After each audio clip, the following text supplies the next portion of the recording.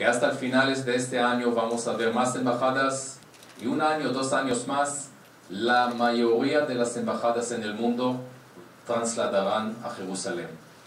Pero ser el segundo inmediatamente después de los Estados Unidos es una decisión que tomó un presidente eh, eh, valiente. 16 de mayo, eh, a las 10 de la mañana, el presidente Jimmy Morales y el primer ministro israelí Benjamin Netanyahu juntos van a inaugurar la embajada de Guatemala en Jerusalén. Aparte de eso, este será a propósito dos días después de los Estados Unidos.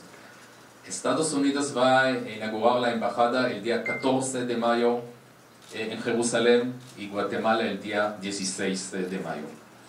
Aparte de eso, en ese mismo día, el presidente Jimmy Morales va a tener eh, reuniones de trabajo con el primer ministro israelí Benjamin Netanyahu, con el presidente de Israel, Reuven Rivlin, y con el alcalde de la ciudad de Jerusalén, que en Israel eh, la alcaldía de Jerusalén es un puesto muy importante, el señor Nir Barkat.